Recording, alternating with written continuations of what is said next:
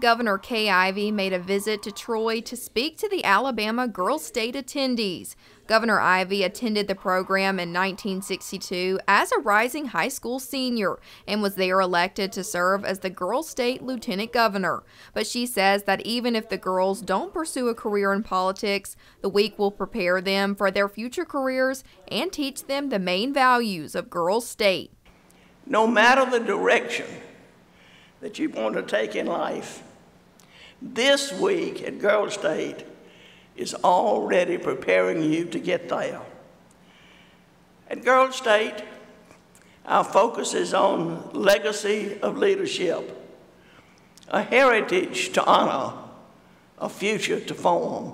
Governor Kay Ivey, being only the second female governor in office for the state of Alabama, told the Girl State attendees Sometimes the best man for a job is a woman inspiring them to always go after their dreams and never let their gender stand in the way.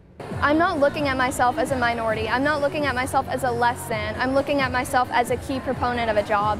So I think that was just so powerful to me and like all of the other girls. To me, that means something about just going out there and doing it. No matter if there's you think that there's going to be any setbacks from any male counterparts, we're all just very excited to be here and do that. And that's what I think the message of Girl State is, is that you can do anything even as a woman. While Ivey's speech focused on empowering the young women of Girl State, some attendees running for office focused on her stage presence and the dynamics of her delivery, hoping to include that in their own ongoing campaign this week. I looked at the way she made eye contact with the crowd. Um, I looked at the way that she delivered herself, and I thought to myself, this is exactly how I need to deliver myself if I make it past primaries.